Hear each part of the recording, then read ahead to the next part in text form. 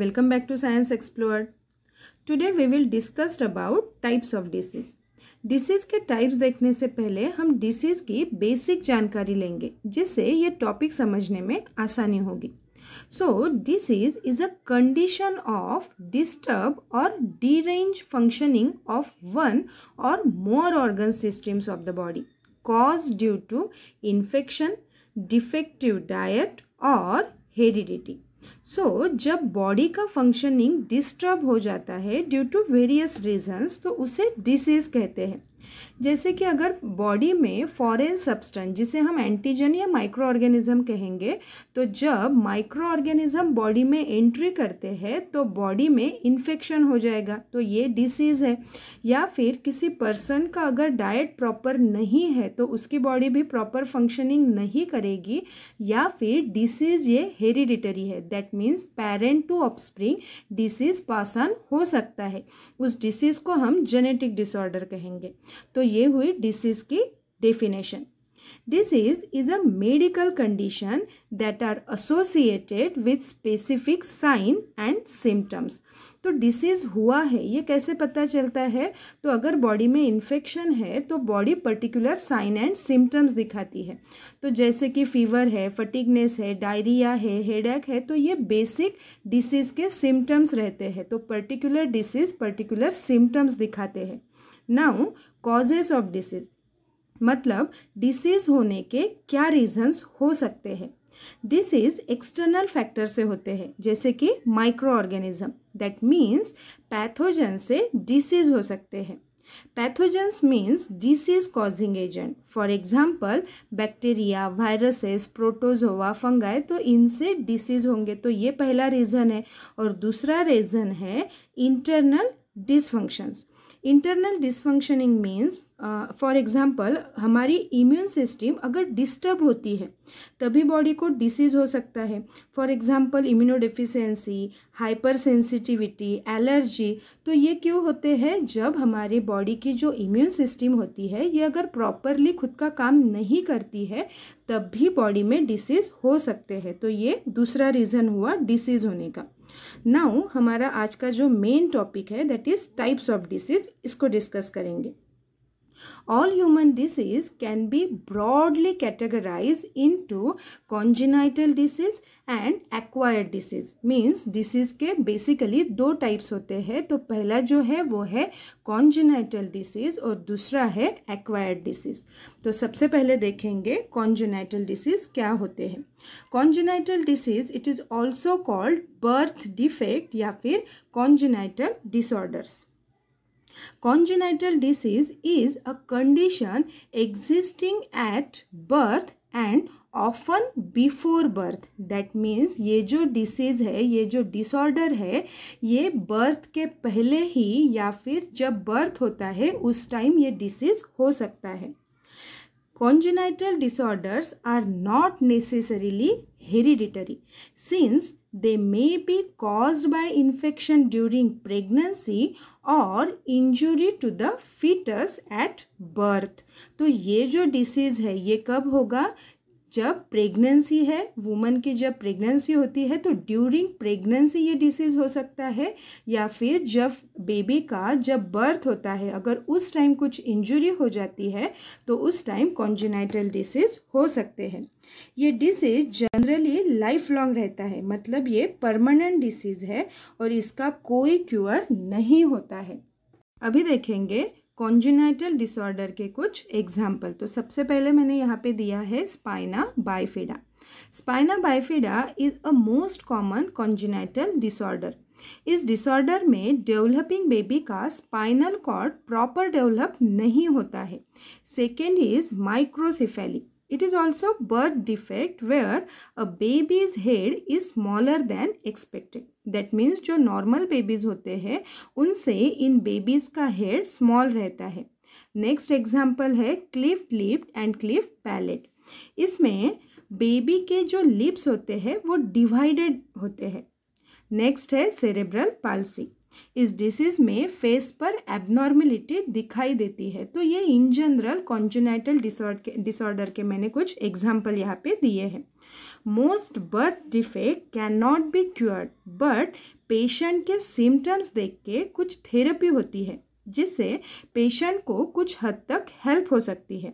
So first therapy is gene therapy second है enzyme replacement therapy और last है prenatal therapy कुछ birth defect जो होते हैं, वो बेबी बर्थ के पहले से ही डायग्नोस कर किए जाते हैं। तो उसके लिए प्रीनेटल सर्जरी की जाती है। तो ये यहाँ पे मैंने कुछ बेसिक ट्रीटमेंट बताए हैं, जिससे पेशेंट को हेल्प होगी। अभी डिसीज़ का सेकेंड टाइप देखेंगे, जो है acquired disease acquired disease is developed after the birth तो बर्थ होने के बाद जो भी डिसीजेस होते हैं, वो होते हैं एक्वायर्ड डिसीज़ एक्वायर्ड डिसीज़ के दो टाइप्स होते हैं। तो पहला जो टाइप है, वो है कम्युनिकेबल डिसीज़ या फिर उसे इन्फेक्शियस डिसीज़ भी कहा जाता है।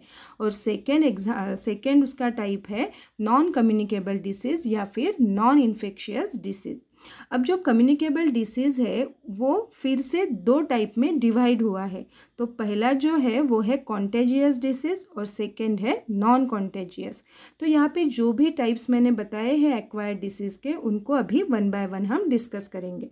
तो सबसे पहले है communicable disease the disease which are transmitted from infected person to another healthy person, either directly or indirectly are known as communicable disease that means ये disease इन्फेक्टेड पर्सन से हेल्दी पर्सन को ट्रांसफ़र हो सकते हैं। तो इस वजह से इसका नाम ही है कम्युनिकेबल डिसीज़ अब इसके रीजंस क्या है? ये क्यों फैलता है? तो communicable disease are caused by pathogen like viruses bacteria fungi तो जो भी पैथोजेंस है, जो डिसीज़ कॉजिंग एजेंट है, उनसे कम्युनिकेबल डिसीज़ होते हैं।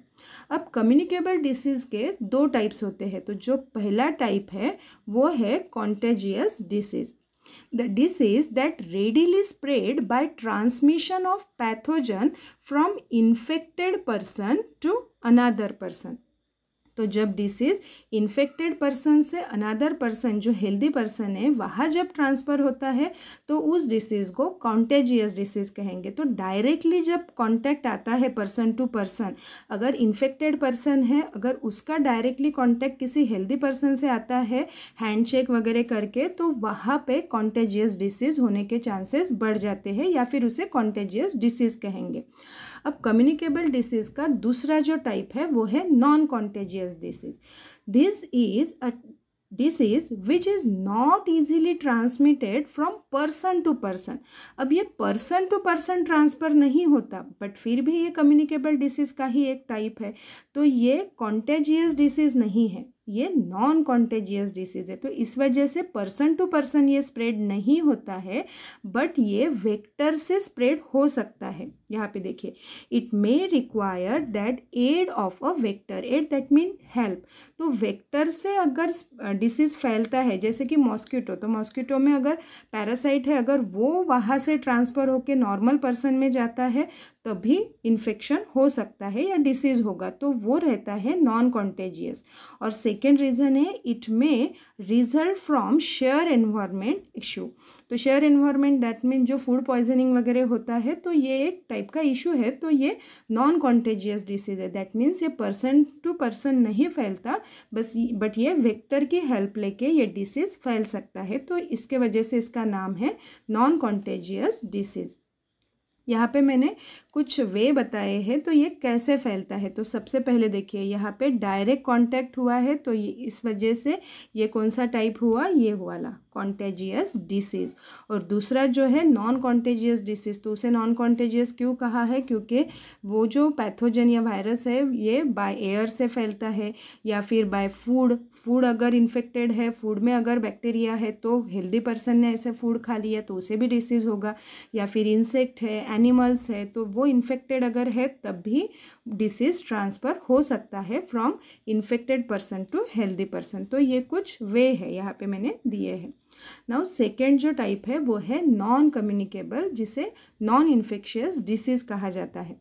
The disease that can not be transmitted from infected person to another healthy person either directly or indirectly are known as non communicable disease तो यहाँ पे पर्सन टू पर्सन डिसीज नहीं फैलता है। तो इस वजह से इसका नाम हुआ नॉन कम्युनिकेबल डिसीज अब ये फैलता कैसे है?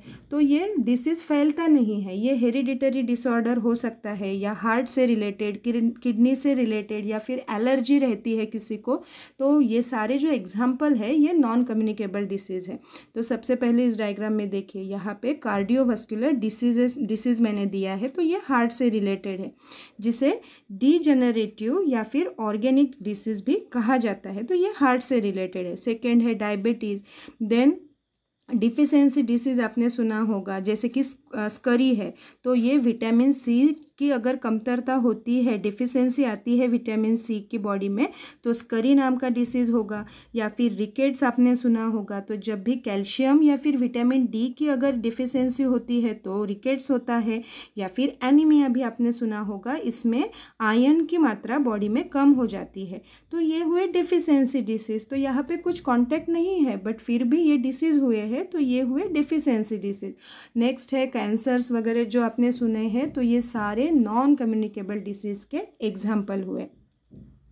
अब इसके रीज़न क्या है? That is causes of non communicable disease तो क्या रीज़न हो सकते हैं? तो हम बोल सकते हैं कि ब्लड प्रेशर अगर किसी का बढ़ता है या फिर ओवरवेट जिसे हम ओबेसिटी कहते हैं या फिर ग्लूकोज की मात्रा अगर बॉडी में बढ़ जाती है, जिसे डायबिटीज़ कहेंगे, या फिर high level of fat in the blood fat अगर बढ़ता है तो ये सारे रीज़न हो सकते हैं नॉन कम्युनिकेबल डिसीजेस के। तो आज हमने कंप्लीट डिसीज़ क्या होते हैं, उसके टाइप्स कौन से होते हैं, वो डिस्कस किया है। अगर ये टॉपिक आप लोगों को समझ में आया है तो लाइक कीजिएगा और ये वीडियो शेयर कीजिएगा। Thank you